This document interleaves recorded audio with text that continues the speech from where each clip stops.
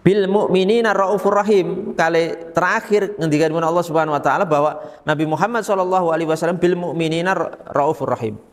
Beliau menikah adalah sosok yang sangat sangat rauf rahim, rauf rahim.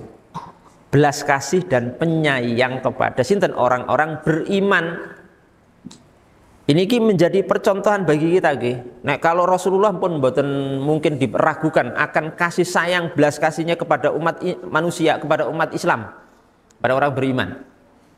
Luar biasa pokoknya pun. Ki. Sampai enten se seorang laki-laki, enten seorang laki-laki di satu kisah niku, dia niku melakukan perbuatan fahisyah, harusnya dihukum had pak. Hukum had itu nggih kayak dirajam sampai mati gitu karena berzina. Niku datang ke Rasul, ya Rasulullah, saya berbuat ini ini, tolong tegakkan hukum had kepada saya. Rasulullah melengos. Datangi lagi, melengos lagi. Karena kasihan.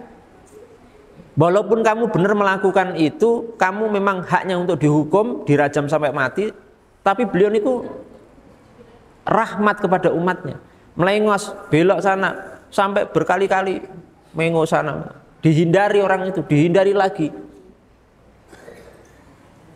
Karena perenten peristiwa di zaman Rasul niku enten seorang yang dihukum rajam nggak kuat lari sampai akhirnya lari malam.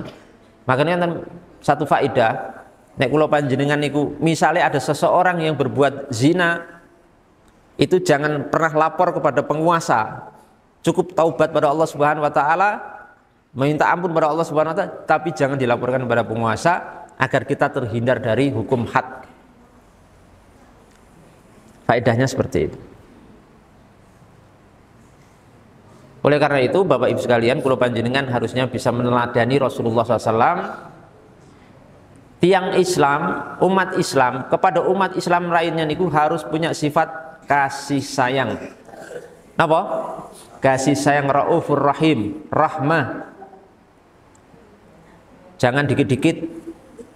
Sesama orang Islam saling membenci, saling menghina, saling uh, memusuhi. Ini berbeda sedikit musuhan, beda sedikit saling menyesatkan, berbeda sedikit langsung memboikot, hajar Padahal perbedaan-perbedaan itu keniscayaan, nggak mungkin menungso niku akan punya persamaan 100% mutlak dalam memahami agama. Bukan mungkin. Pasti ada perbedaan.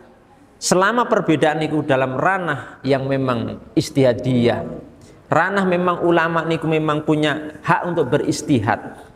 Itu jangan sampai dijadikan sebab untuk bermusuhan asyidda walal kufar ruhamau bainahum. Sifatnya orang beriman itu saling menyayangi kepada sesama muslim. Entah golongan apa pun ormas apa pun komunitas apa pun yayasan apa pun selama label status dia seorang muslim itu wajib butuh untuk kita rahmat kepada mereka sayang kepada mereka. Tapi saat ini sok buatan ngoten niku. Beda kelompok wis lu lu gue gue gitu. buatan kenal. Jadi istilahnya ikhwan kita sedulurku ki ya sing sak kelompok karaku yang sekelompok dengan saya. Sing ngajine podo aku niku saudara saya. Yang tidak berarti bukan saudara saya. Ya nauzubillah min dari ayatnya kan jelas gitu. Innamal mu'minuna napa ikhwatun niku sing ngendika Allah lho senes kula innamal mu'minuna ikhwatun bahwa orang-orang beriman itu bersaudara bersaudara Mboten enten kok penjelasan kemudian niku hanya seormas, hanya sekomunitas, hanya sekelompok. Mboten sifatnya mutlak Pak, bebas. Karena sing jadi parameter itu napa? Keimanan kalih keislaman. Makanya alhamdulillah nggih kula piyambak menika saya sendiri iku bisa bersaudara kepada seluruh kaum muslimin mau dari kelompok apa pun dari ormas mana pun alhamdulillah saya itu nyaman saja karena kalau kalau bersaudara ini mesti yang saya lihat imannya Pak, iman Islamnya. Mesti luar biasa. Walaupun kadang kula memiliki perbedaan pandangan dengan orang-orang ini, sebagian ini, sebagian masalah kula benten. Tapi karena saya melihat imannya dan Islamnya, itu jadi hilang itu. Karena iman dan Islam itu lebih penting dan lebih agung dari sekedar perbedaan dalam beberapa masalah.